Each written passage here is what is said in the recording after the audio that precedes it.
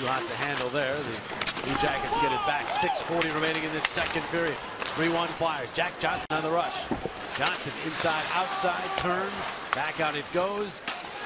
Pass across the shot and saved by Mason is Savard. Then had that one deflect into the crowd. He got the gloves off. Brandon Manning at it again. Manning and Josh Anderson did not hesitate. That, that one doesn't last very long. But Brandon Manning is not happy. It was a hack fest that Anderson appeared to start. And Anderson's been a thorn on the Flyers side every time they've played them. He has. The big man, 6'3", 225.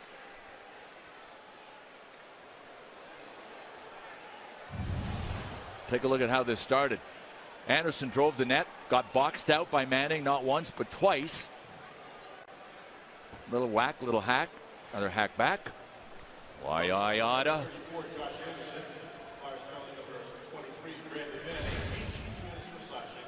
Two and five slashing and fighting for both of the combatants.